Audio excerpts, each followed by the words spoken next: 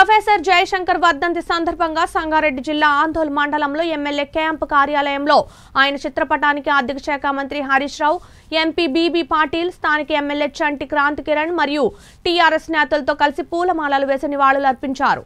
ప్రాచీక తెలంగాణ ఎందుకు కావాలో విడమర్చి చెప్పిన మహానేత తెలంగాణ సిద్ధాంతకర్త ప్రొఫెసర్ జయశంకర్ అని మంత్రి హరీష్ రావు ఎమ్మెల్యే క్రాంతి కిరణ్ అన్నారు. అనంతరం మంత్రి హరీష్ రావు ఎమ్మెల్యే క్రాంతి కిరణ్ మాట్లాడుతూ తెలంగాణ తొలిదశ ఉద్యమం నుంచి మళ్ళీ వరకు దిశ దశల పోరాట పటిమను చాటిన నేత ప్రొఫెసర్ జయశంకర్ అని గుర్తు చేశారు. నాడు తెలంగాణ కాంక్షను వివరిస్తూ నీళ్ళు నిధులు నియామకాలన్న నినాదంతో తెలంగాణ ఉద్యమాన్ని లేవనెత్తి రాష్ట్రం సిద్ధించే వరకు స్ఫూర్తి నింపారన్నారు. నేడు తెలంగాణ రాష్ట్రంలో ఆయన ఆశయ సాధన సిద్ధిస్తోందన్నారు. మధ్య లేకపోయినా ఆయన ఆలోచనలు వారి స్ఫూర్తి తెలంగాణ కోసం పడ్డ వారి తపన ఎప్పుడూ మన మనసుల్లో నిండుగా నిండే ఉంటుంది. జయశంకర్ గారితో మాకు చాలా దగ్గరి అభినాభావ సంబంధం. రెండు వేల ఒకటి నుంచి టీఆర్ఎస్ పార్టీ ప్రారంభమైన నుంచి తన చివరి శ్వాస వరకు కేసీఆర్ గారి వెన్నంటి ఉన్నటువంటి వ్యక్తి జయశంకర్ గారు. అనేక సందర్భాల్లో చాలా మంది మాట్లాడినప్పుడు కూడా మీరు కేసీఆర్ గారికి సంపూర్ణమైన మద్దతు ఇస్తున్నారు అని అడిగినప్పుడు నాకు కేసీఆర్ గారి మీద సంపూర్ణమైన విశ్వాసం ఉంది. ఆయన నాయకత్వంలో తెలంగాణ వస్తుంది. అందువలనే నేను కేసీఆర్ గారికి వెన్నుదన్నుగా ఉన్నానని స్పష్టంగా కుండబద్దలు కొట్టినటువంటి వ్యక్తి ఆచార్య జయశంకర్ గారు.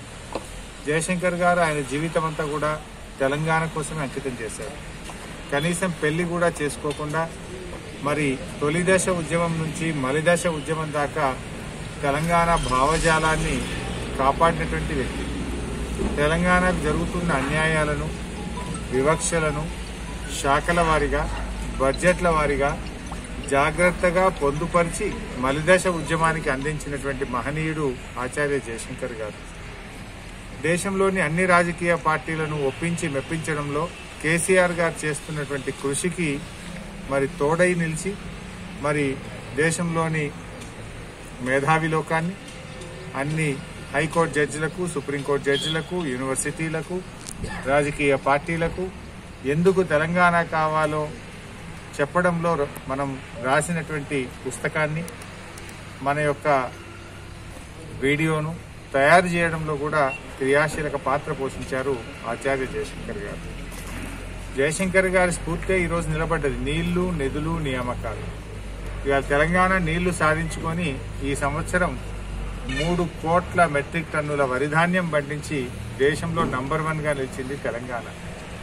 ఇవాళ నిధులు దక్కినాయి కనుకనే ఇంత కరోనా కష్టకాలంలో కూడా రైతు బంధు డబ్బులు ఏడు వేల ఐదు వందల కోట్లు వానకాలం పంటకు రైతుల అకౌంట్లలో జమ చేయగలుగుతుంది తెలంగాణ ప్రభుత్వం. సంక్షేమంలోనైనా అభివృద్ధిలోనైనా ఆచార్య జయశంకర్ గారిని స్ఫూర్తిగా ఉద్యమ భావజాలాన్ని ఉద్యమ స్ఫూర్తిని మరి తెలంగాణ సాధించుకున్నా కూడా వారి స్ఫూర్తిని మాత్రం తెలంగాణ రాష్ట్ర ప్రభుత్వం టీఆర్ఎస్ పార్టీ ముందుకు తీసుకెళ్తుంది. ఉద్యమ ఉపాధ్యాయుడు జయశంకర్ గారి పదవ వర్ధన సందర్భంగా ఈరోజు జయశంకర్ గారికి నివాళులర్పించడం జరిగింది. తెలంగాణ ఉద్యమంలో మనిషి చెప్పినట్లు అందరికీ మార్గదర్శి వారు. అప్పుడు తను కేసీఆర్ మీద పూర్తి విశ్వాసంతో అన్ని రకాల వ్యక్తుల్ని బహుశా ఆర్ఎస్ఎస్ నుంచి ఆర్ఎస్ వరకు వామపక్ష భావజాలం ఉన్న వాళ్ళ నుంచి ఒక రైట్ రైటిస్టుల నుంచి అందరికి అందరినీ కూడా కూడగట్టడంలో జయశంకర్ గారి కృషి చాలా ఉంది అని చెప్పి మనందరం చెప్పుకోక తప్పదు. ఆయన ఆశయ సాధనలో ఇప్పుడు ఈ ప్రభుత్వం నడుస్తుంది కేసీఆర్ గారి ప్రభుత్వం నడుస్తుంది.